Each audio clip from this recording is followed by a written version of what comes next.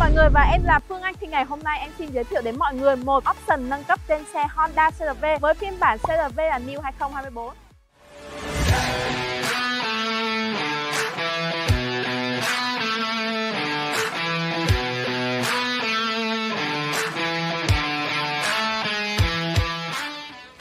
Tiên là nói đến cụm đèn của CRV như mọi người thấy. Đây là một cụm đèn led nguyên cụm. Việc thay thế và nâng cấp cho em này rất là khó khăn, cho nên có thể có những cái option như là thay thế nguyên cụm này thì sẽ có những cái cụm đèn liền bát, như là cụm đèn liền bát của CRV có sẵn hai bi và một bi còn lại thì sự lựa chọn tùy thích. Tuy nhiên, ở chiếc xe này thì anh chủ lại không muốn như thế. Anh chủ vẫn muốn giữ đèn zin chỉ là thay thế một chút nào đó thôi. Bên cửa hàng của Auto 365 tụi em có nâng cấp cho anh chủ một cặp S cộng Ultra. Thay thế vào đây. Và ở cụm đèn zin của chiếc xe này thì chúng ta sẽ có hai cốt và một pha, tức là sẽ có hai nguồn ánh sáng cốt phát ra và một nguồn ánh sáng pha phát ra. Tuy nhiên với những ánh sáng như vậy, mặc dù là dòng bóng led nhưng mà ánh sáng vẫn không có đủ điều kiện, không có thỏa mãn được cái nhu cầu mà anh chủ hay đi đêm. Cho nên khi mà thay thế vào thì bên cửa hàng của em có gợi ý cho anh chủ một cái option, đó là tháo cái chóa led pha của đèn ra để thay thế cái f cộng Ultra vào đó. Vẫn giữ nguyên hai ánh sáng cốt nhưng mà lại thay thế pha. Thì như vậy khi mà nâng cấp lên á, thì ánh sáng của anh chủ sẽ được nâng cấp kể cả về ánh sáng cốt và về ánh sáng pha luôn. Và như mọi người thấy đây là quả bi f cộng Ultra. Và bề mặt lên là 1.8 khi mà đưa vào cái chóa đèn như thế này thì có thể nói là vừa khít với nhau. Và khi mà nhìn vào á nhìn cảm giác có một cái sự độc đáo này sáng tạo và mới lạ ở cái chiếc xe này mà rất là nhiều dòng xe khác khó mà gặp được. Và f cộng Ultra được trang bị driver rồi.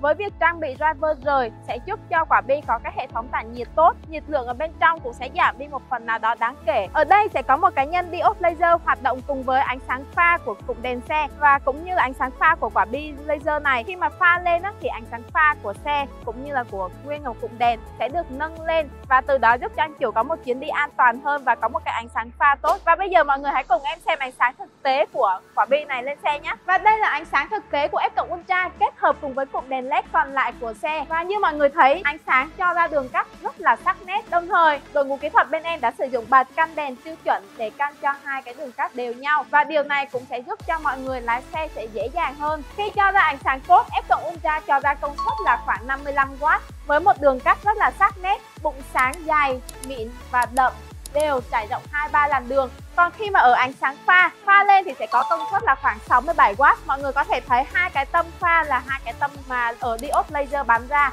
Với hai cái tâm như thế này sẽ giúp cho mọi người định hình đường đi. Khi mà đi trong những cái điều kiện thời tiết như là trời mưa hay là sương mù nhẹ, sẽ dễ dàng di chuyển hơn và cũng cảm giác an toàn hơn. Và với F cộng Ultra sẽ được bảo hành trên toàn quốc là 2 năm. Nếu như anh chị nào có nhu cầu thì có thể để lại số điện thoại dòng xe và khu vực bên em sẽ có đội ngũ liên hệ tư vấn cho anh chị ngay.